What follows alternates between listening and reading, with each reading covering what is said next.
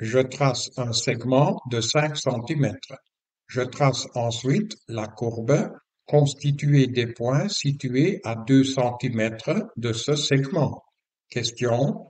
Quel est, en centimètres carrés, l'aire de la surface délimitée par cette courbe? Traçons donc d'abord le segment de 5 cm. Les points se trouvant à 2 cm de ce segment sont d'abord tous les points de ces deux segments-là, parallèles au segment de départ.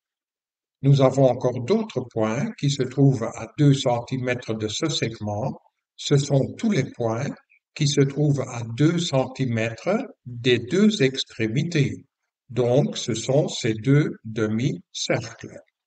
L'aire de cette surface délimitée est égale à d'abord l'aire de ce rectangle, c'est-à-dire 5 fois 4, et puis viennent s'ajouter les aires de ces deux demi-cercles, c'est-à-dire l'aire du cercle entier qui est égal à pi fois le rayon au carré. Donc ici, pi fois 2 au carré. Dans cette somme, nous pouvons mettre le 4 en évidence et ainsi nous obtenons que l'aire de cette surface brune est égal à 4 fois 5 plus pi. Et par conséquent, le D est la bonne réponse.